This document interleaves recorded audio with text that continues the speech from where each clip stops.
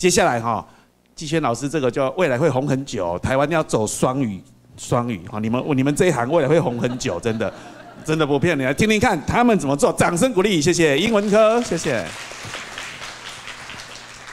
呃，各位在场的教育界的大前辈们，大家好，我是来自台北市全员实验国民小学的季轩。那我今天是要跟大家分享，是我将学思达以及倩颖老师的三分之一法则实现在我们课堂上，有一个不一样的一个教学风景。那我先做为简单的自我介绍。我毕业于台北市立教育大学英语教学系。那我在天母国小实习期间呢，接受很多 iPad 人物教学的一个熏陶，所以在我之后的课堂非常强调使用科技这一块。那之后很顺利分发到全员国小。那在分发当时，它还未转型成实验小学，我们只是位在一个阳明山半山腰的一个偏乡小学校。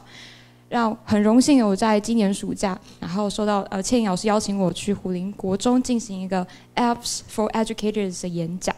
那昨天慧成老师有讲到要不断的寻找学思塔的连接。那因为我是 John Bergman 的一个一个粉丝，所以说我将他的 Flip Learning 的概念也融合了学思达带进了我的课堂。那今天要跟大家分享分为四个部分。第一个部分是我为何要使用学思达，以及我跟学思达相遇的一个。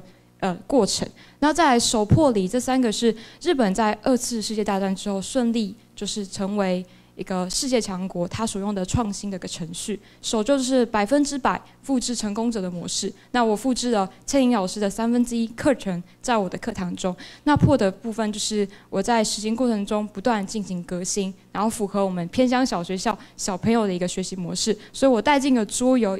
跟数位学习，那最后离的部分就是我引进了 John Bergman 的 Flip Learning，然后现在我有一个自己的教学的 SOP 流程。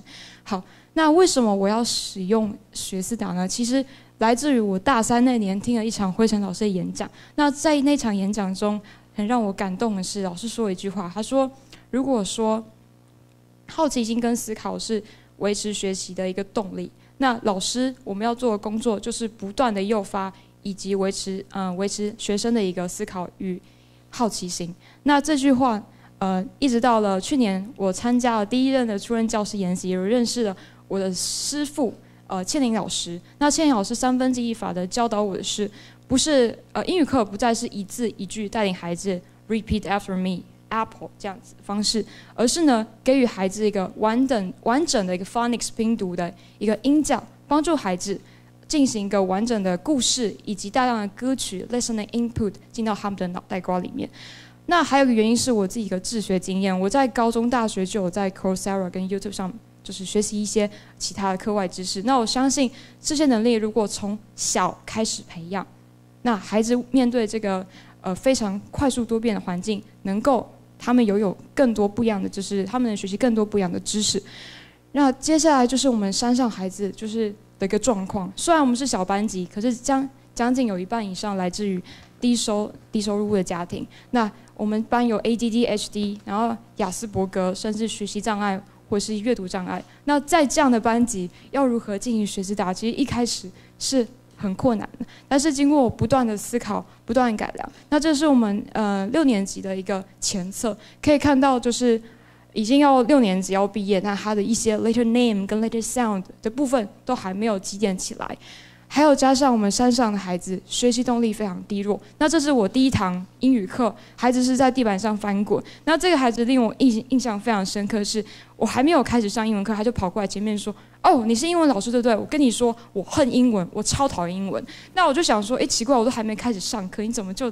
这么恨这个东西呢？那也也让我一直不断的激发我去思考，要如何让孩子偏向孩子喜欢上英语。那现在这他的状他的状态是这样的，他成一个 group leader，然后他现在因为他也是同时是我记忆班的孩子，他对这些桌游的程序非常了解，然后现在非常有自信的能够去引导其他孩子。那这是学士达带给他的一个自信。那接下来就是进入重点，就是第一个部分三分之一法则字母拼读。拼读法，那要先从孩子从 learn to read 到 read to learn，这个音架要从这个开始。那我给孩子大量的讲义，每个孩子都有一个像这样的 folder，那里面呢就是有一些像是拉拉书 w o l Family Cider，还有 Phonics Reader。那这些东西呢，让孩子自己学自己读。好，这是关于 Phonics 的一个学习单，那还有给他们的一些教材。再就是。最自然的方式，孩子学英语最自然自然的方式就是歌曲跟故事。那这些歌单我都会附上一个 QR code，孩子只要有个载具跟一张呃歌单，就能够随时随地有大量的一个英语听力进到他们脑袋瓜里面去。好，那这个是我们上课一个。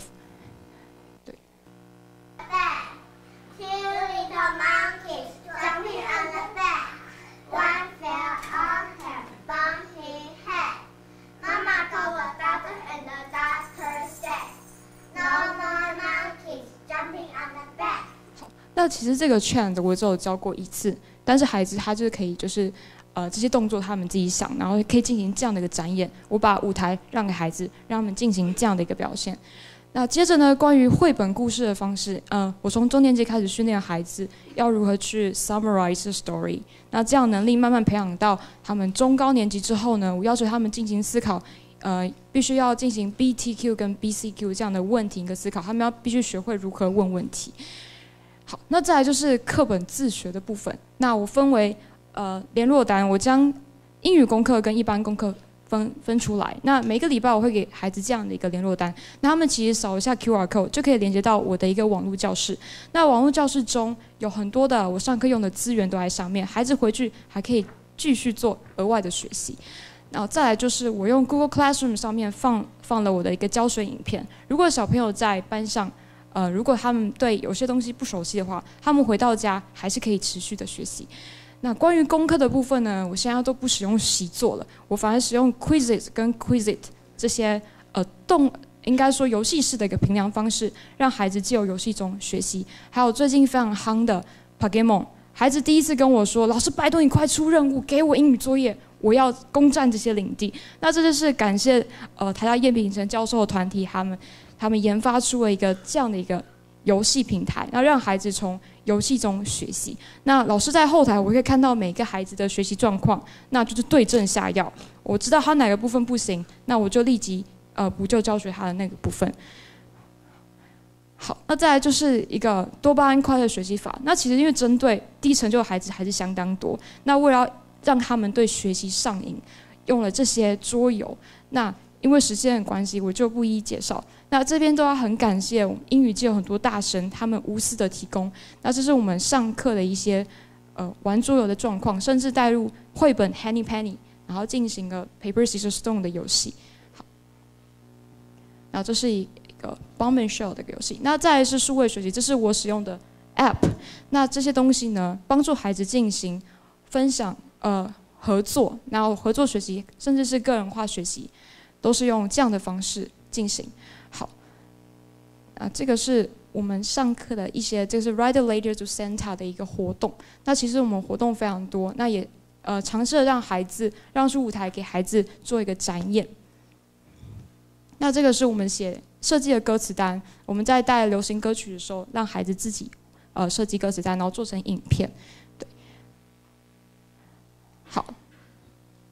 啊，不好意思，刚刚这个东西呢，必须要说，就是前面那个跟我说很恨。很恨英语的孩子，有一天我经过他的教室，发现他竟然自己在用 Quizit 在练习英语单字，然后让我深受感动。对，最后呢，就是我现在课堂是右边这个模式，每一个孩子都有一台 Chromebook，那要怎么学习呢？我的个人空间分为低成就跟高成就孩子。那低成就的孩子就是老师，我会在一旁，如果他们需要帮助，我及时下去做补救教学。那高成就的孩子，他们自己观看 Google Classroom 上面的 video，然后如果有不会地方，互相做讨论学习。那我们在一个团体空间的部分呢，我们进行的是绘本共读跟专题式的一个学习。对那我们就完成那个 Bloom Taxonomy 它的记忆理解部分，我在个人个人空间里面解决了。那在更高阶的部分呢，我在团体空间也解决了。那目前呢，呃，我现在使用的方式就是，他们看完影片之后要进行一个任务单的一个写作任务。那这是他们上课认真做笔记、个人化学习的过程。那每一次的上课，我都要一个阐述。第一个，他们必须要传录音档上传到 Google Classroom 上面；再就是完成任务单，做一个进行游戏式的评量。那这是在一个我觉得是一个低语又严肃环境下学习，那孩子都非常眼神都非常专注，就是跟刚刚第一堂课在地板上翻滚的方式有很大的不一样。